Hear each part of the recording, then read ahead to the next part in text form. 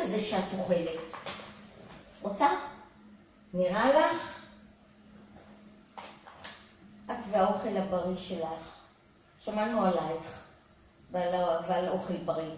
צריך קצת ליהנות מהחיים, את לא חושבת? אני רוצה לחיות באיכות חיים גם בגיל המבוגר. כנראה שאת לא חושבת על העתיד. זו הבעיה. ש... שאנשים לא חושבים על העתיד, חושבים רק על אותו הרגע. וזה לא ככה צריך להיות.